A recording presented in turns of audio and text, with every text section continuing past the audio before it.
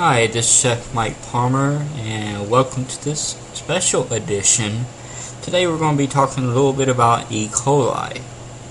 E. coli is a gram-negative bacterial uh, aeronaut rod-shaped bacterium of the genus uh, E. coli is commonly found in the lower intestines of the warm-blooded uh, organisms.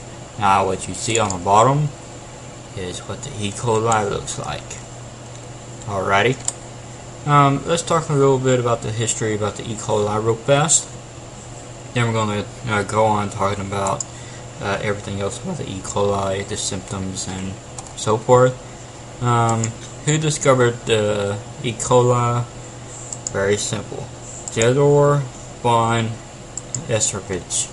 The German bacteri uh, bacteriologist discovered the bacteria E. coli back in 1885. The bacteria commonly known as E. coli can be found in the human intestinal tract that comes in multiple forms. Only one uh, of those are completely deadly. Um, e. coli is the only two uh, microns in length and one micron wide. It is a rod shape and covered with a small pili for mobility. Also, it's widely known for its lethal capacity of E. coli O157:H7. Um, it is the most common and dangerous strand of E. coli and it is found in the feces and also in the meat. When the milk, solder, water, sawdust, and even the air comes in contact with the uh, cow feces, they may become contaminated with the E. coli. Now, the meat is the primary source of the infection in the humans. Um, the contamination is also caused by the direct exposure to the fecal matter of the cattle. In order to kill the E. coli O157:H7, the contaminated material must be cooked at a 160 degree Fahrenheit or higher. In the United States alone, each year, possibly 73,000 people are infected with the symptoms of the E. coli O157:H7 toxicity, and 61 people will die from it. Globally, the E. coli globe will reduce the number of the people who suffer from the E. coli O157:H7. Dr. Theodore was born November the 29th in 1857 and died February the 15th, 1911. He's discovered the bacterium uh, E. coli, which was named after him in 1919. Um, the, he was the first pediatric infectious disease physician, and he was the first physician that opened up, opened up the first children's hospital uh, back in the day. The bacteria normally live in the intestines of people and also in the animals. Most E. coli are harmless and actually are an important part of the healthy human intestinal tract. Some of the E. coli are pathogenic, meaning they can cause uh, illness either in diarrhea or illness outside the intestinal tract. Most types of the E. coli that can cause diarrhea can be transmitted through the contaminated water or food or through contact with animals or persons. The E. coli consists of the diverse group of the bacteria. Pathogenic E. coli strains are catalyzed um, into the pathotypes. Six pathotypes are associated with the diarrhea and collectively are referred to as diarrheogenic E. coli.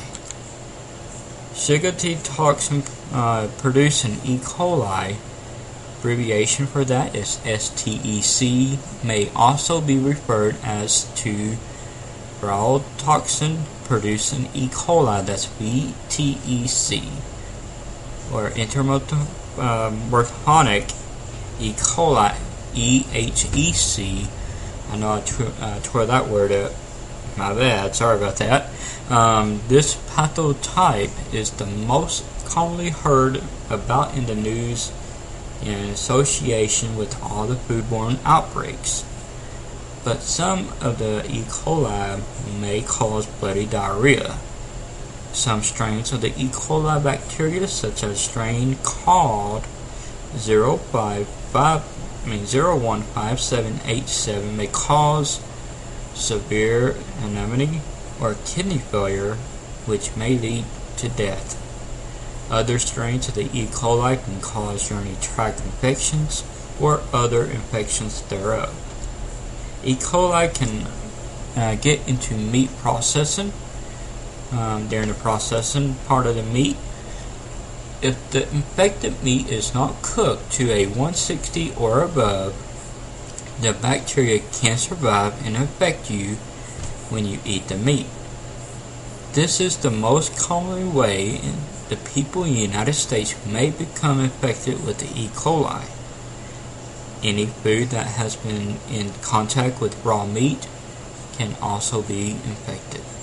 Raw milk or dairy products, including bacteria, may spread from cows' arteries to its milk.